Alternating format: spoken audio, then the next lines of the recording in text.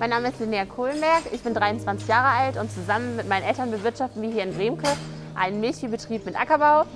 Ähm, wir melken zurzeit so um die 55, 60 Kühe und wir stellen gerade zurzeit auf automatisches Melken um. Heißt, wir bekommen einen Melkroboter in den nächsten Wochen.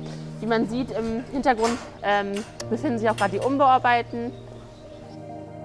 In Deutschland gibt es ungefähr 65.000 Höfe, die Milch produzieren, ähm, die im Durchschnitt dann so circa 65 Milchkühe haben. Das ist in der Summe sind das dann 4,2 Millionen Milchkühe, äh, die jährlich 33 Millionen Tonnen Milch produzieren. Die Nachhaltigkeit spielt in der Milchproduktion auch eine große Rolle. Ähm, der Molkerei geht es darum, dass der Lebensmitteleinzelhandel verstärkt danach fragt, ähm, auf Kundenwunsch, wie nachhaltig dieses Produkt hergestellt ist, um es besser zu vermarkten.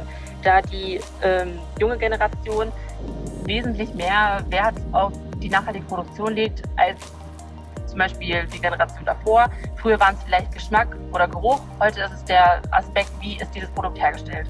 Für uns Landwirte ist es natürlich so, dass wir so wirtschaften wollen, nachhaltig wirtschaften wollen, ähm, dass wir den Betrieb in die nächste Generation übergeben können und dass dieser weitergeführt wird.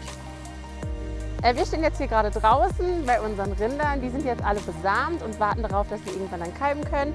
Und äh, wie man sieht, befinden die sich hier auch im großen Auslauf mit viel ähm, Gras und unter Tannen ist auch noch der Schutz vor Regen sozusagen.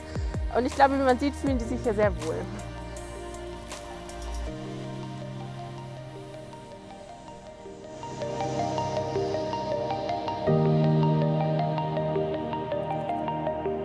Das ist unsere Tiffany. Tiffany wird am 21. Juni 14 Jahre alt und somit ist sie unsere älteste Kuh hier im Stall.